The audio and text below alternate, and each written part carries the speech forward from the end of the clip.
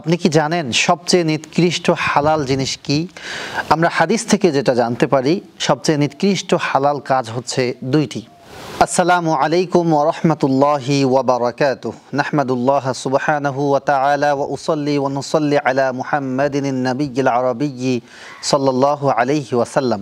আপনি কি জানেন সবচেয়ে নিকৃষ্ট হালাল জিনিস কি? আমরা তো জানি যে যেটা হালাল সেটা আমাদের জন্য বৈধ, আর যেটা হারাম সেটা আমাদের জন্য অবৈধ।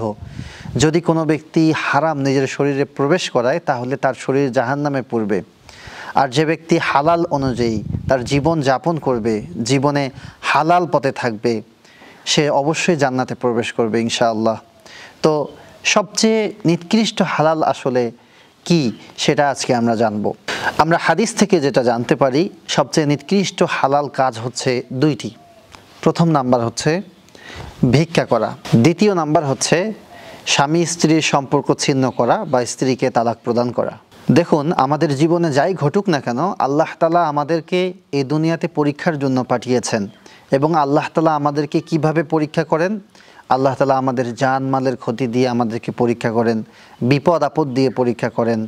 আমাদের সম্পদের ক্ষতি দিয়ে আমাদেরকে পরীক্ষা করেন এমনও হতে পারে যে আমরা অনেক কষ্টে আছি অর্থের অভাবে, অর্থের সমস্যার কারণে বা আমাদের রিজিকের সমস্যার কারণে, খাবারের সমস্যার কারণে যে কোনো ধরনের সমস্যা হতেই পারে তো এই সমস্যা তখনই সমাধান হবে যখন আমরা আল্লাহ তালার উপর তাওয়াক্কুল করব এবং আল্লাহ তালার উপর তাওয়াক্কুল করার পরে আমরা বেশি বেশি দোয়া করব এবং ধৈর্য ধারণ করব।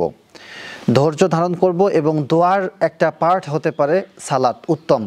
এটা হচ্ছে উত্তম একটা কাজ যে যখন আমরা বিপদে পড়ব তখন সালাত, অর্থাৎ নামাজ এবং ধৈর্যের মাধ্যমে আমরা আল্লাহ তালার কাছে সাহায্য প্রার্থনা করব। অবশ্যই আল্লাহ তালা আমাদেরকে সাহায্য করবেন। তো এই ভিক্ষাবৃত্তি না করে নামাজ এবং ধৈর্যের মাধ্যমে আল্লাহ তালার কাছে সাহায্য প্রার্থনা করাই হচ্ছে অধিকতার শ্রেয়। এবার আসি দ্বিতীয় নাম্বার পয়েন্টে। সেটা হচ্ছে যে স্ত্রীকে তালাক প্রদান করা। দেখুন, জীবনে অনেক কিছুই ঘটবে।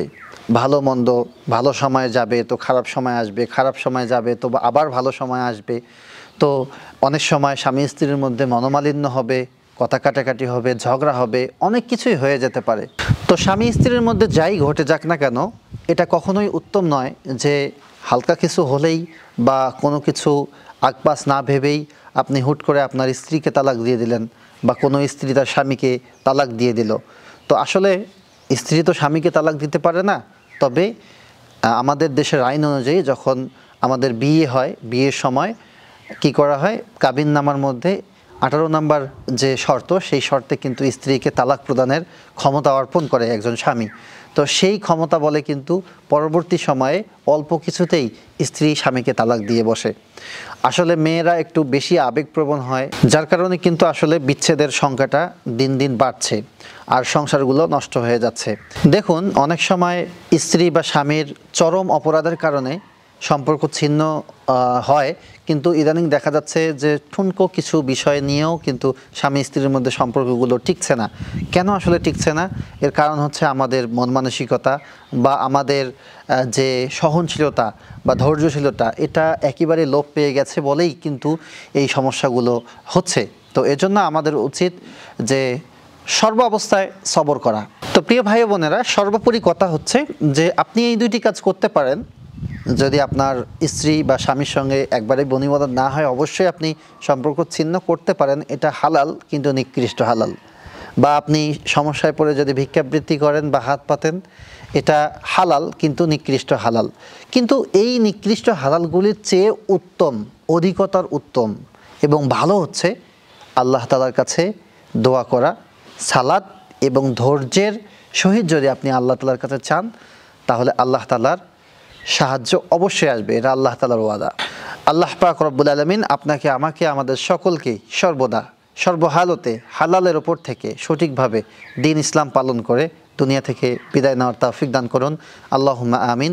ওয়াখিরুদ্দাওয়ানা আনিল হামদুলিল্লাহি রব্বিল আলামিন। ওয়াসসালামু আলাইকুম রাহমাতুল্লাহি ওয়া বারাকাতুহু।